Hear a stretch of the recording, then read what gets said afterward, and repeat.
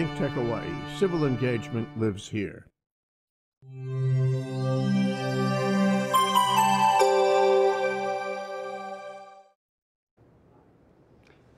Good afternoon.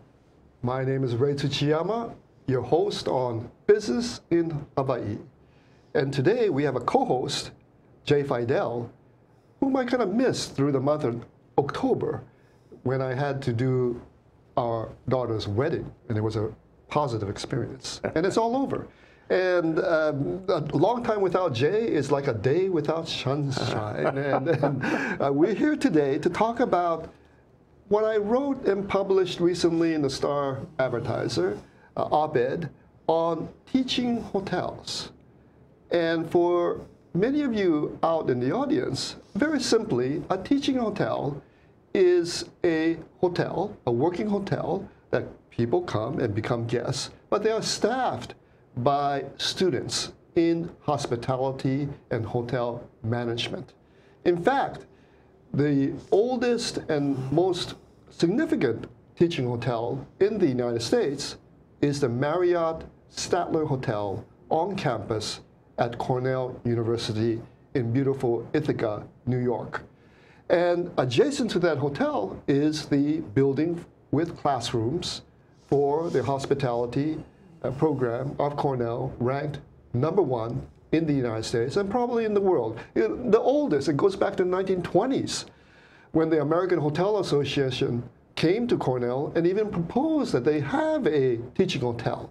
And this is way, way back. And Cornell did launch the Inn at Cornell in the 50s, which evolved into the Marriott of today. And that gives a practical education in hotel management and the visitor industry by having students work on the front of the house in hotel and the back of the house where they do finance and operations, cleaning, serving, and management, and that propels them into general manager roles for the hotel industry globally after graduation. And that was my proposal because I feel Hawaii is lacking innovation in hospitality and tourism. Although the visitor industry has over 9 million people coming to Hawaii, enjoying Hawaii, a $17 billion industry, yet we have a hospitality education program that is not looking to the future. And that's what I want to talk with Jay about and have a conversation. What can we do to really transform the future of hospitality education that would create leaders, and some of them, I hope, will become general managers of Hawaii hotels, where the majority of the GMs come from the United States mainland and Europe today. Mm -hmm some reflections. Okay. You know, Mufi Hannemann has a thing called Tourism 101. He's the Hawaii, uh, what is it, uh, Lodging and Tourism Association. Correct, yeah. He was here uh, mm, yesterday, I think, with Rick Egged, Waikiki Improvement right, Association, yeah. talking about the, you know, the, uh, the structure, the infrastructure, the management and uh, business infrastructure in, in Waikiki and the hotel industry. And really, it does raise the question about whether Waikiki is still the engine of our uh, tourism economy um, because there are other hotels in other parts of, of the state. Right. Uh, and most of the hotels of any consequence, I'm just reflecting on your statement of the case here, um, are uh, they're owned by someone else offshore. Um, the, the bigger they are, the more likely they'll be owned by some because of the need for large capital concentration. And, and then you and they're hold, they're held by REITs usually, which don't pay Hawaii income tax, and there are bills from time to time in the ledge uh, calling for that, which could pass, but they don't pass. The hotels are very influential. After all, they are the largest industry in the state, and they would oppose any tax that affects them. So all we have is the transient, uh, transient accommodations tax. Um, and what was the point? Uh, what, did they have any uh, points for the future of the industry uh, out of Waikiki? They look at Waikiki as the economic engine for the state. Yeah, well, sure, of course. And, you know, we have to, you know, take care of it and we have to, you know, connect with it. And obviously those fellows are uh, part of the connection, you right. know, connection with the community, and with the legislature, the government in general, so that, uh, you know, there's a, there's a kind of togetherness here. Um, but the kind of togetherness that you and I had when we were younger, you know, in Waikiki, going there for a movie or a meal, um, is really no longer the case. I mean, it's not all that friendly to locals. They, they want to be friendly. I mean, they want it to be friendly, but it isn't really that friendly. It, there's no movies there to speak of anymore. The, the restaurants are hard. There's no local experience. There's no local experience Yeah. or local people. Right. You know, nobody I know goes there for. And it's hard for parking to go to a restaurant there. Yeah. Right, Yeah. right. I mean, you go there if you have a, you know, a formal dinner and when there's no other venue, but you don't, you don't go there regularly. You don't, you don't go there on a Saturday night for um, a date or anything. So, I mean, what you know, what's happening is there's, you know, there's a separation of sorts, uh, and I hope we can put that back together again. Those guys are working at, at doing that. But here's the thing: if you go to the Shangri-La hotels all over Asia, Right. not in the U.S., but Right. all over Asia, you will see the most effective um, employees, uh, management and employees. Those guys are trained. And in fact, Shangri-La has a school just for that hotel chain. Sort of like the Marriott, I suppose, must have dibs on the one at, uh, at Cornell, you know? Um, and this school trains people to really, really do it up first class. You need to have uh, first class. You need to have a reputation for It's a first class. five-star chain. You're- five-star right, chain. yeah. Do we have five star here? I don't really think so. And I think we could have. Okay, that's one kind of gestalt uh, response to you. Another one which sticks in my mind, which is really worth discussing, is years ago at the Hawaii Venture Capital Association, we had a program, and I organized a number of programs in those days about Waikiki, the engine of our economy, we call. And, and we, we, we talked to this one fellow who left an impression from then until now. He had been in the, in the military. He had gotten out of the military. He was writing code for you know some Right. tech company, and he got up and made a speech. He said he didn't understand why the hotels, as other many other large companies in Hawaii, um, rely on programmers and you know Oh, computer right. computer people from the mainland when this could be the best laboratory Right. for writing the best code. After all, it's what we do. And we understand, presumably understand the way, you know, the accounting works, the way Right. the, the, the tour arrangements work. We could write, if, if we put our minds to it and our investment in it, we could write the best code in the world, and this would be exportable. Right. These programs would go everywhere, you know, if you assume that Hawaii has the talent and ha- has the industry and, you know, knows the systems. If you know the systems, you write code around Right. them and extend them into even better systems. So, but he said, you know, they're not doing that. They, they call somebody in the mainland to do it. And we could have had, you, you know, referred to this in your opening, we could have had, you know, uh, this huge juggernaut industry uh, that knows about our hotels and exports that knowledge. So, um, you know, to me, I'm, I'm concerned about that. Uh, I, I would like to see uh, a hotel school here. Uh, I would like to see five-star hotels. I would like to see people writing code. Uh, I would like to see the hotels more, you know, integrated with the local community. I would like to see us all coming up around them. Um, that's not happening. And, and, and, and I leave you with this one last thought, Ray. We talked about it before the show. You know, the Travel Industry Management School, uh, was it Walter G, somebody G, uh, the dean, Chuck. Chuck Gee, thank you.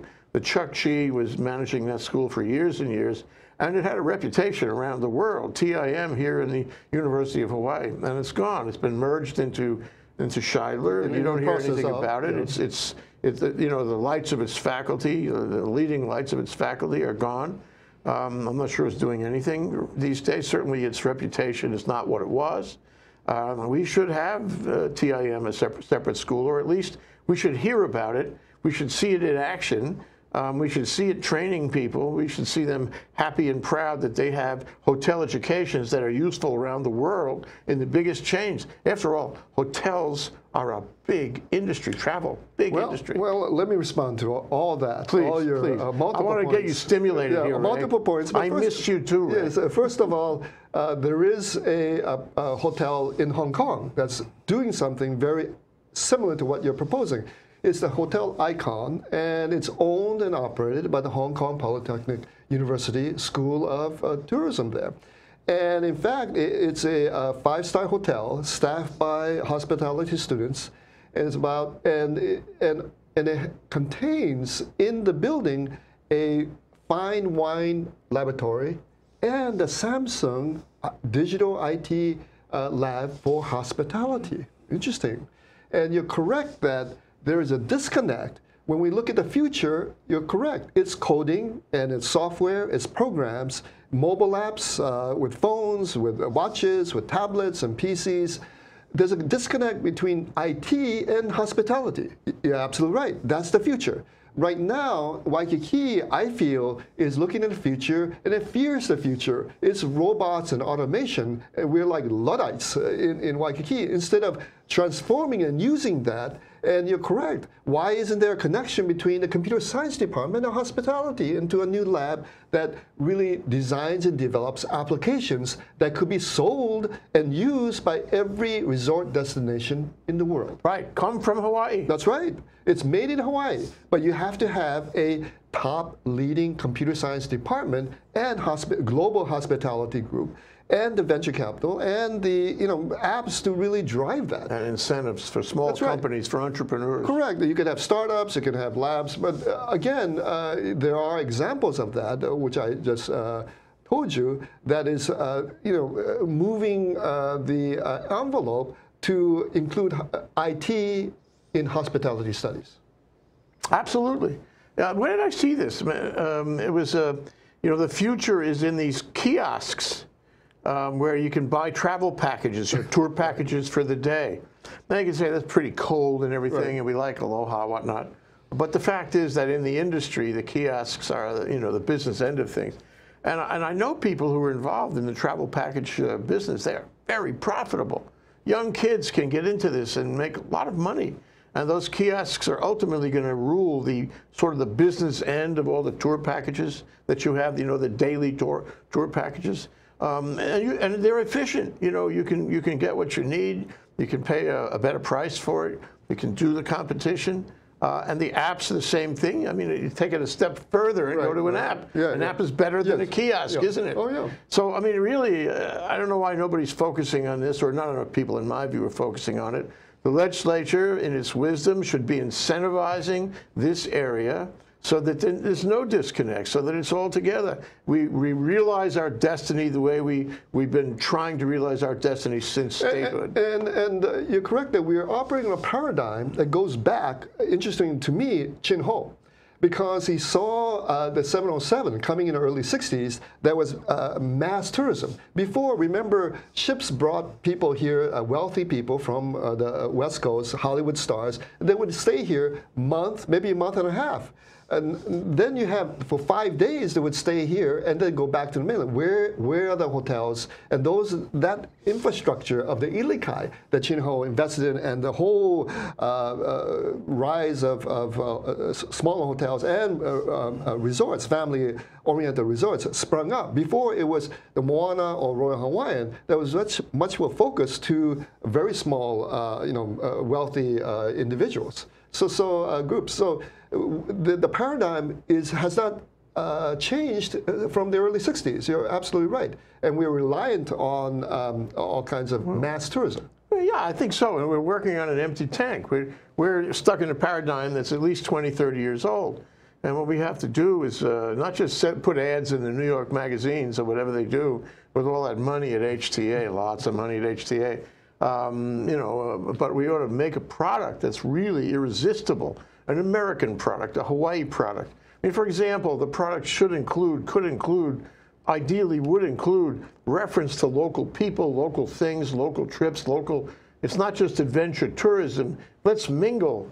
Let's get And- together. And, and we'll get back to the mingling uh, right after this great break.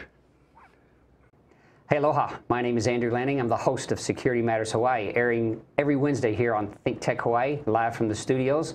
I'll bring you guests, I'll bring you information about the things in security that matter to keeping you safe, your coworkers safe, your family safe, to keep our community safe. Uh, we want to teach you about those things in our industry that you know may be a little outside of your experience. So please join me because security matters. Aloha. Hey, Stan the Energy Man here on Think Tech Hawaii. And they won't let me do political commentary, so I'm stuck doing energy stuff. But I really like energy stuff, so I'm going to keep on doing it. So join me every Friday on Stan Energy Man at lunchtime, at noon, on my lunch hour. We're going to talk about everything energy, especially if it begins with the word hydrogen. we're going to definitely be talking about it.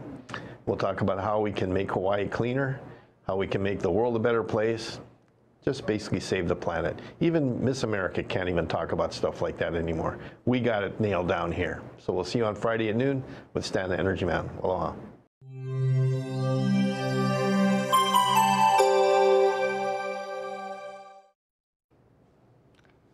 This is your host, Ray Tsuchiyama for Business in Hawaii.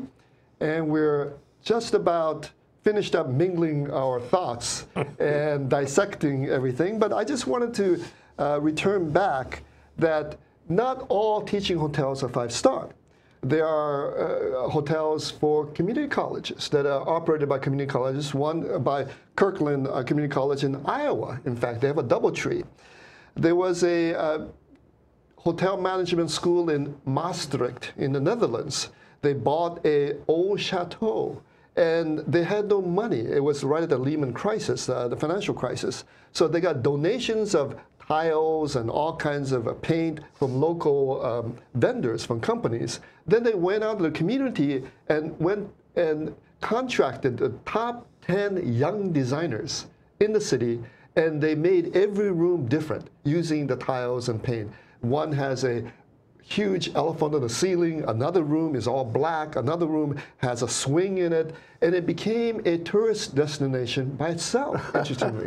so the, the point of that uh, story is that you can do it without much money. You have to be innovative, creative, and really cater to uh, tourists or visitors who want a different experience. They don't want a cookie cutter room uh, at uh, one of the major chains. They want to go where it's really exciting and interesting uh, that they stay, in, like you say, in a community.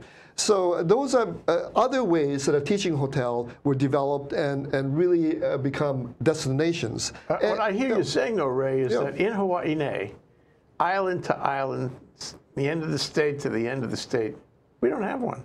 That's correct. Uh, currently, uh, there is no teaching hotel, and it could be on campus at UH. Uh, there are some uh, uh, universities that, uh, that, do that, or it could be in Waikiki. Sure. It could be in Kaanapali. It could be in sure. Kona. It could be in Hilo. you're correct that it could be off the campus, but again, there are, but there is one ho teaching hotel, a Hilton Hotel at the University of Houston campus. One building holds a hotel, labs and classrooms. It's a seamless, integrated experience for students and the guests to be there uh, together in one building. Yeah, the big complaint here is that uh, I can go into the hotel industry and uh, fold hospital corners for my whole career. Uh, uh, I, can make for only one job, but I should be, I should have, I have to have two jobs. You know, the union thing going on now in Waikiki, the complaint. I don't make enough money. Um, and the question really is, is there a glass ceiling? uh, where folding hospital corners is not going to get me into management. Um, it's not going to get me into you know any level of administration really. And so, gee whiz. Um, and, and if, you want a manager or administrator, get them from outside the state. Local people really don't qualify. Why? There's no training. And, uh, you know, and this is terrible because they're making the lowest wage on the scale we have to get our people, our Hawaii people, into management. And there's a strike going on. Uh, and we have to train right them now. to do that. No, you're absolutely right. And uh, there are two parts to this. A teaching hotel is about the practicum, uh, how how to really uh, design. Uh, rooms that will uh, be sustainable in terms of paint, uh, the, the rug, how much, how many minutes to change a bed, all kinds of things, and and also to add uh, what you said said Hawaiian motifs and and really cultural kinds of management uh, education into the staff. And that's another area that is very, very uh, exciting that, that we saw at the Kaanapali Beach Hotel that introduced and launched this uh, really culture, host culture awareness back in the 80s. But going back to that, yes, there's a practical side, but you're correct that there has to be the strategic high-level financing. You know, how, how do you do M&A? How do you price hotels? How do you do, you know, um, uh, buy? How, how, do you, you compete know? with other destinations? Right. Well, that's a that's a we're huge great uh, risk that other issue. destinations are going to beat us on everything, on, on, on service, on food, on um, design, on innovation, uh, because we're not thinking about that. We just want the profit right now uh, and the jobs right now, but we're not looking into the future. That's right. And one thing you talked about, uh, which is very key, and, and there's many um, uh, hotels and other cities that are having little like buildings within communities, and the whole community, the shopping malls or shops, or become your uh, your hotel in, a, in effect. That you go out and you have uh, cards that make you uh, allow you to pay uh, for meals and so forth, introduce you to things that you would never have done otherwise. And you're right. How do you get people outside and, and kind of interact with smaller businesses and people and cultural experiences within Hawaii? You- You're completely right. Because the history of mega resorts has been self contained. Uh, in, in the Hilton Hawaiian Villages or the uh, Hilton Waikoloa or on Kauai, they're very self-contained uh, uh, mega resorts that are uh, kind of outside what is normal life. And that's, but the authenticity, that's one word that visitors, especially young people, want is authentic experience. Sure. They want to go to Haleiwa, experience a Matsumoto, uh, you know, a shave ice. They want to go to the North Shore and experience surfing, you know, right there. There's a lot of things that are authentic that uh, they don't want a manufacturer. We used to have them. Don't you think we used to have them? I remember the uh, Royal Hawaiian back in the day. Uh, it was so completely Hawaiian. It, it was the Hapa Hapa-haole thing, the Webley Edwards thing, the Moana. All those hotels had a kind of local style. It was very classy, very appealing. You know, very romantic. You take it home and you never forget it, and, and you're bonded for your whole life. You and your spouse and your family are bonded for your whole life to the romance of Hawaii. If you package it the way these chains package all their hotels everywhere in the world, and if you just put this patina of, of Hawaiiana on it, it's not enough. We could be capitalizing on our own culture so much more than we do. And, and part of this uh, theoretical hotel you're building, at least Yeah. in my mind, it would be exactly that. Create a brand that's totally unique, that nobody can copy, that nobody even can compete with. Do it right here. You know, if I go down to some of these big hotels, I'm thinking of Disney and all that, big hotels and lots of, uh, you know, lots of ways to make money over there. But it's not really very Hawaii. And automation is something. Who wants to be served by a robot? I mean, you're correct. And and uh, I think uh, that authenticity of experience is something that we have lost sight of, and and we have to return to our roots and say what. How can we uh, present a better visitor experience that is very authentic, uh, uh, and and or else it's comparable, uh, identical to going to Las Vegas or some other resort? You know, there's a question about think tech here. Wouldn't it be interesting to have think tech on the televisions in the rooms of at least some of these hotels? The objection to that is we, we don't we don't want local television. We don't want to know from you know programs like Think Tech and others uh, what happens on the ground outside Waikiki. We want our, our clientele to spend money. We want them to walk down, you know, Kalakaua Avenue and buy things. We want them in the restaurants and so forth. Um, so we don't, we don't want to expose them to these local influences. Now, this probably makes more money. I mean, as- as a general concept, it does make more money. But is this the brand we're really selling? You know, it's like when the big money came in back in the day, the Sheraton to start and all these other ones. Um, you know, they, they were interested in things other than what the brand had been up till that point. And it's regrettable that they've turned their back in some ways on the, the perpetuation of that brand. But it's time to get back to that. Yeah, there have been many hotel service, though, of families uh, at the end of the trip. And what they remember most is um, a Hawaiian language uh, class or, or authentic uh, kinds of uh, food experiences or playing a game uh, that uh, uh, reflected Hawaiian history. There's many things that they remember uh, much more than going into the ocean or Hawaiian music and, and culture. So I think those are things that we have that you're right that will not cannot cannot be copied or replicated other places. Yeah. Can you think of a single, a single Okazuya in all of Waikiki? I can't. And right. yet, to me, that's very important Or- as part of or- the local experience. Or a uh, center for Hawaiian music and hula in Waikiki. And, and, and uh, people can see people practicing or you know take part of it. There's, yeah, uh, uh, that used Kodak Hula Show. Remember that was on the grounds of could exist today if somebody Right. funded it. And, and, and uh, that ended, but it was a huge occasion for people with cameras, and that's what they brought back to Iowa or New York. Yeah, don't don't go too too fast away from the music. The music is so important. Uh, the music is the statement of the heart of the, of the culture, as far as I'm concerned. And we used to have so much more music, you know, authentic local music in Waikiki. In those days, the hotels would promote the music. In other words, they would give you the room and say, come here and we'll split the gate. Okay, now they say, no, you need a promoter. The promoter has to hire the room and pay for the room, and the promoter will handle the gate. Um, this is a big problem because the, uh, there aren't that many promoters uh, who can afford that sort of thing, and the musicians certainly cannot afford it. So what we've seen is a huge decline in local music in Waikiki because of that change. And I think we need to get back to it because it has actually undermined the development of local music.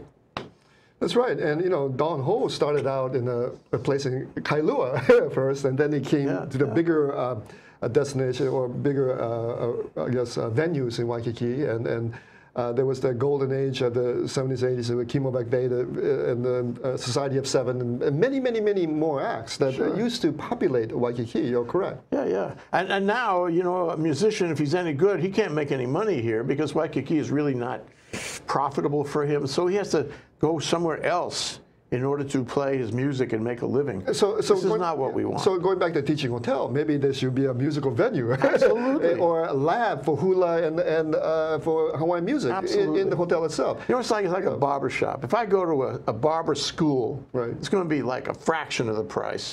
but I'll get a pretty good Oh, yeah, yeah. haircut. Oh, yeah, yeah, yeah. Because the, the teacher will be watching. That's right. He doesn't, you know, do, do mangle my, my, my hair. Um, it's the same thing with the hotel. If I had a hotel that was a teaching hotel Right. on Kalakaua Avenue, and I lit it up right, and Oh, I yeah, made the yeah. Oh, rooms no. good, and the staff was very good, Yeah. food was very Oh, good. Gee, that'd be really popular Oh, around the world. You could uh, do all kinds of innovations that you wouldn't do in a larger hotels. You're absolutely right. And uh, I think that's, we're going to end it here. But I think there's so many ideas to really re- revitalize uh, tourism in, in Hawaii. Who's going to do it? Well, I hope there's people watching who, would be entrepreneurial enough to really invest and, and, and, and really uh, take it away and, and, and do something. Yeah. It's the best startup of all, really, when you consider the fact that this is the engine of our economy. That's right. and this is Ray Tsuchiyama. Thank you for watching for, for Business in Hawaii. Thank you.